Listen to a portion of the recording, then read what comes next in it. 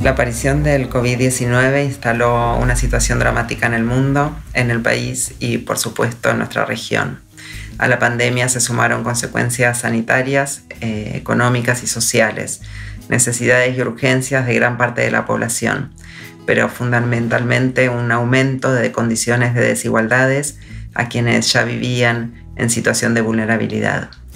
La Universidad Nacional de Mar del Plata eh, no solo siguió activa como institución desde su función académica, sino que implementó a través de todas y todos sus integrantes un gran número de iniciativas, programas, proyectos, dispositivos sanitarios, psicosociales, productivos,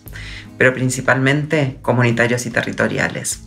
Los conceptos de compromiso social y solidaridad fueron los ejes fundamentales durante este periodo, construidos colectivamente con los comités barriales de emergencia, desde cada facultad, desde cada disciplina, con la Escuela de Medicina, el Colegio ILIA, desde todas las áreas de rectorado, desde el programa Universidad Nacional de Mar del Plata contra las Desigualdades, a través de las donaciones organizadas por la Fundación de la Universidad. Este es un informe que intenta sintetizar algunas de las actividades realizadas durante el primer cuatrimestre, mostrando un camino, el compromiso ineludible de la universidad con nuestras comunidades, con sus problemáticas y territorios, poniendo en el horizonte los grandes desafíos que aún nos tocan transitar.